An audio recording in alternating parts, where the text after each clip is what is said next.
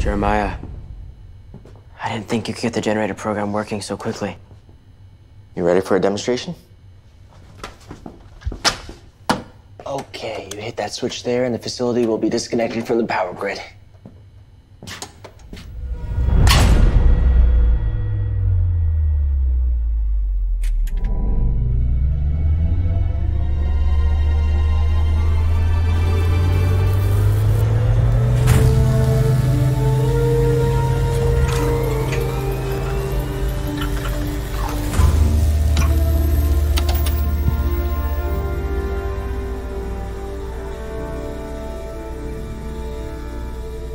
Energy.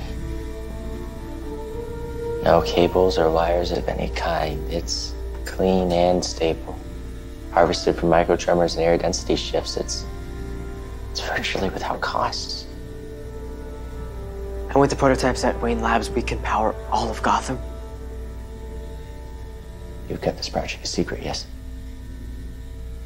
No one outside of Wayne Industries knows it exists.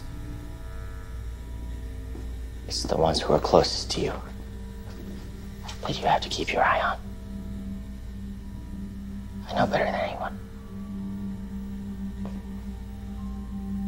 Arkham Asylum sent me Jerome's personal effects, and amongst them, I found his diary.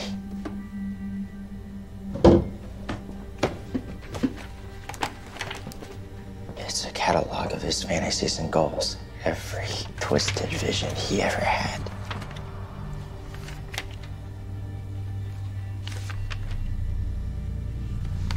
Maybe you shouldn't spend so much time reading it.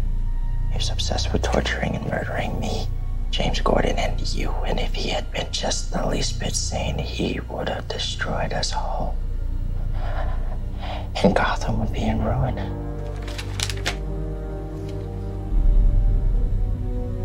Your brother is dead, Jeremiah. It's time for you to come out of this bunker and join the world.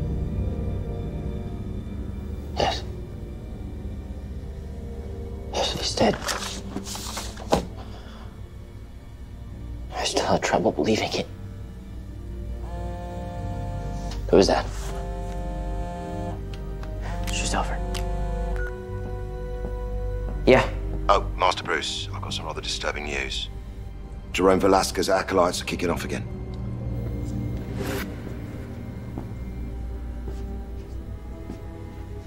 Yes. Thank you, Alfred. I'm on my way.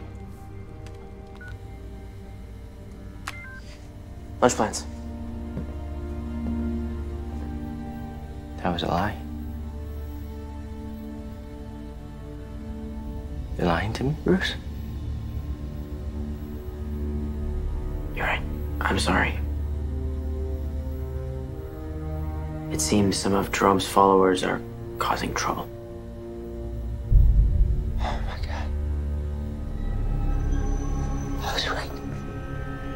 No, Jeremiah. I was right.